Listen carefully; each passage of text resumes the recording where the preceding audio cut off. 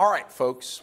So let's say that we have a population of seven, right? N equals seven. And whatever that quality is, it can be a lot of things. It can be a measure of attitude, it can be a measure of personality, it can be a physical quality about a person, it can be an, a quality about an animal. This could be the weights of seven different uh, animals of the same species. Okay? So, but it doesn't matter what it is. We just know that we have these seven values. It's a population of seven. And the values are 5, 6, 4, 6, 7, 9, and 7. Now, these two sevens, even though they're the same value, they're different units in the population. And these two sixes, even though they're the same value, they're different uh, units in the population. Imagine having a population of dogs, and one of the dogs uh, weighs 13 pounds and another one of the dogs weighs 13 pounds. It's okay for two units, two different units in a population, to have the same measure on the same quality. That's what's going on here. But the population, overall, there are seven of them in the population. We are going to take a sample size. We're going to take, take a sample size of five. And here's what I'd like to know how many possible samples could we have if the population is 7 and the sample size is 5? Well, we can use our NCR calculation. It's going to be 7 NCR 5. You can do that in a calculator if you want to real quick. But I happen to know that if you do it in the calculator, the answer is going to be 21. Okay? So there are 21 possible samples that we could take with a sample size of five out of a population of seven. What I'm going to do right now is I'm going to project up onto this board all 21 of those possibilities. Okay. All right, so hopefully you can see this okay. Now, you can see here, this is the, this is the, the uh, sample number.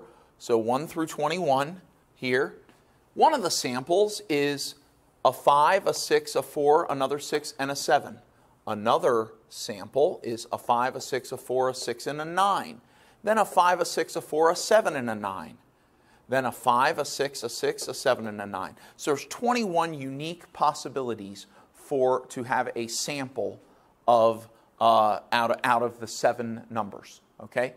Now here's where we're going to start trying to understand uh, what we're going to do here with statistics is each one of these samples, each one of these samples, all 21 of them, each one of them has a sample mean. And what I'd like you to do is, I would like you to pause this video and see if you can calculate the sample mean for all 21 of these samples. And I'm going to do that right now also. Okay, you can see what I've done here. I've gone through and I have calculated the average of all 21 of these samples, the sample mean of each sample, okay? And so all I did, it's a mean, so we just add up five numbers, divide by five. And if I add up those numbers and divide by five, I get 5.6 for this one.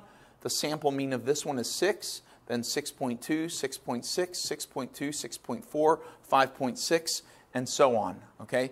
21 different means for 21 different samples okay? And what we're going to do now is we're going to use these 21 sample means to try and understand uh, something that's called the sampling distribution of the mean. Okay, so we've got a population of seven. We have the sample size is five, and given that those circumstances, there's 21 possible samples. Now, these are the means of those 21 possible samples. So here's what I want to tell you. Here's what we're going to try and understand.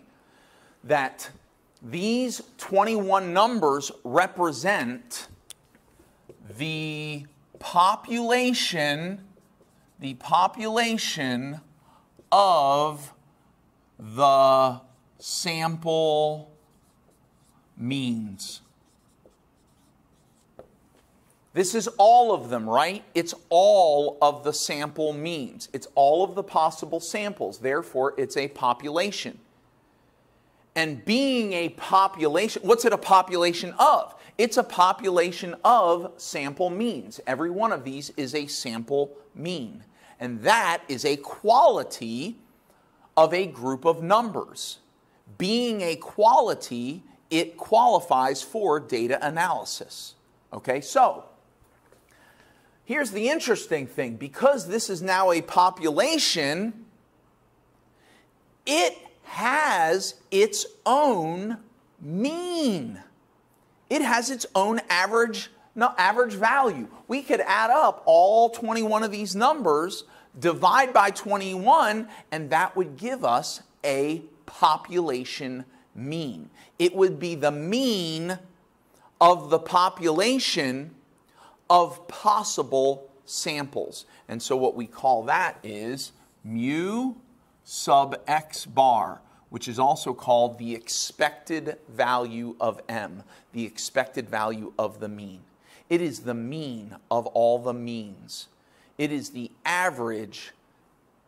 Uh, it's the average average. It's the average mean value. Okay, here's what I want you to do pause the video, add up these 21 numbers, divide by 21, and identify the uh, expected value of m, the mean of the mean, the population mean of the sample means. Okay, did you do it? All right, I got 6.2857. Now, here's what I want you to do. You ready for this? This is awesome. Now, what I want you to do is I want you to go back to our seven original numbers here. These see these seven numbers? And I want you to add those seven numbers up and divide by seven. And what you would be identifying is the population mean. So I want to know over here what is the population mean of these seven numbers? Go ahead and try that now. Isn't that awesome? What did you get? I know what you got. If you did it right, you got the same number right here. You got 6.2857. 6.2857. And here's the lesson. Here's your first lesson. Is that the mean of a population of a, of a particular quality, whatever that is, the mean of the population is always equal to the population mean of all of the possible samples. That's important to understand. It's important to understand because usually we have way too many possible samples to actually be able to identify the mean of the population or of the, the sample means. So, if somehow or another you can get a good approximation of the population mean, then you can use that instead. And oftentimes, what we typically do is we actually come up with a sample mean and use it as a surrogate measure for the population mean. But it's still it's it's doable depending on how you gather the data and how you use it. Okay, and I know it sounds like hocus pocus. It sounds like uh, some kind of weird hokum, some kind of magic trick, and it really kind of is a magic trick. But here's the really funny thing: is even though it is kind of a magic trick. There's a lot of consistency and validity to these techniques. Now, remember, right now you are only at an introductory level of statistics. It would take you probably at least a few years of really studying and digging into statistics to have a good, strong understanding of these techniques. And you're only at the beginning right now. So don't try to understand the whole thing, just take it one piece at a time. But here, this is an important discovery is that the population mean is always going to be equal to the, the population mean of all the sample means. Okay? That's important. Okay, now what I want you to do is I want you to take these 21 numbers right here. I want you to take all these means and then either use Excel or something like that. And what I want you to identify is I want you to identify the standard deviation of these numbers.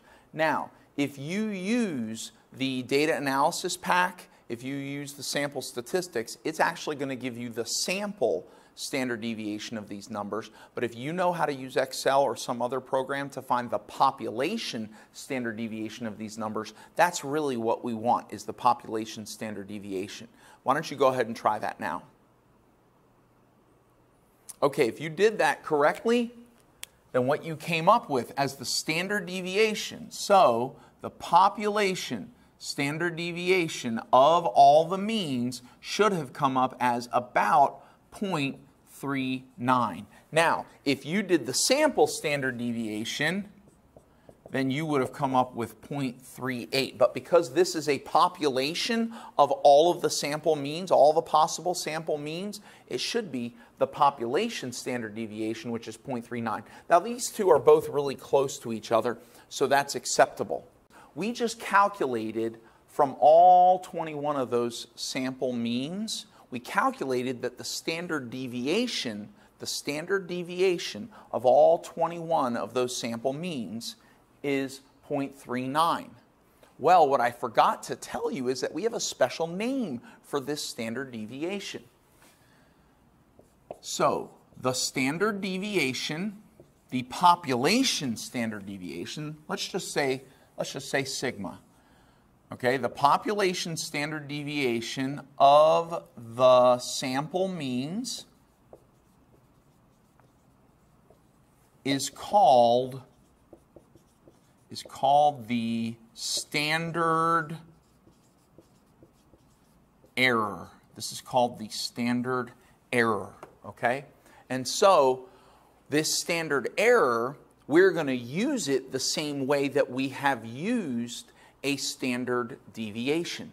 It's going to help us to draw conclusions and use a z-score. So from now on, instead of, instead of saying standard deviation of the uh, of the sample means, we're just going to say standard error. So every time we say standard error, what we mean is the standard deviation of all of the possible sample means. Okay, but let's, we're going to stick with 0.39 and we're actually going to say that it's approximately equal to 0.4. We're also going to say that this 6.2857 is approximately equal to 6.3. So we're going to use 6.3 as the mean and 0.4 as the standard deviation. So here we are. We have a mean and we have a standard deviation. And you know what we can do with a mean and a standard deviation is we can create a normal distribution curve. So let's go ahead and do that right over here. We're going to put our draw our bell curve. We're going to draw a line. We're going to put a hash in the middle and then a few hash marks over here and then a few hash marks over here. Our mean is 6.3. That is the average mean. It's the mean of all the means, okay? It's mu sub x bar, the expected value of m, all right? And then our standard deviation is 0.4. So we're going to go up by 0.4s. 6.3, then 6.7, then 7.1, then 7.5. Then we're going to go down by 0.4s. We're going to do 5.9, and 5.5, and 5.1. Okay? Now let me explain what we just created. This is a frequency distribution of sample means. And what we call that, this has a special name.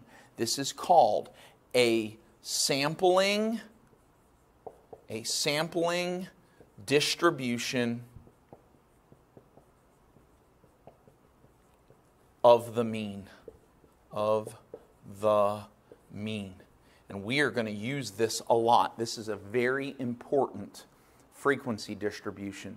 This frequency distribution, the sampling distribution of the mean, allows you to be able to draw conclusions about whether a particular sample mean is like this population of means or unlike this population of means.